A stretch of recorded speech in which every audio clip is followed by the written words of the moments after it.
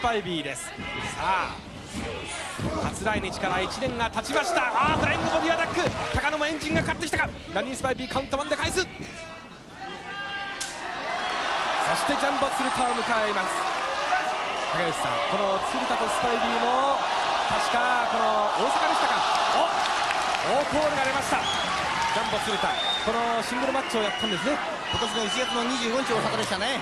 その時には、まあ、スパイビー、えー、この鶴田に負けました。それから初来日の時には、えー、天竜の UM に挑戦。ダッシュなりませんでした。しかしそれからバニー・スパイビーがものすごい力をつけてきています。果たしてこの4冠を今自信にあふれるジャンボ鶴田に向かってどういうファイトを展開するか。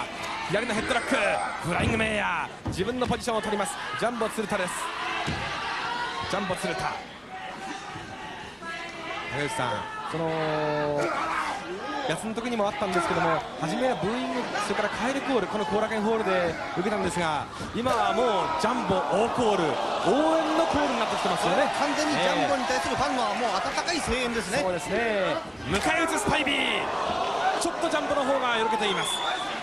馬場さんこのダニー・スパイビー。1年でこんなたくましくあジャンピングになるもんですかね、そうですね、えー、どの辺が一番成長を感じますか？いやそれはもう気力ですよ。気力。でねやっぱり反戦だね強い人たちとどんどん当たってるでしょ、はい、天竜だジャンボだって当たってますから、ね、自信ついたんですね。あなるほどねまあ、一時天竜そして鶴田にシングルマッチで、えーまあ、前線虚しく敗れ去りましたがそういったものが徐々に肥やしになっています。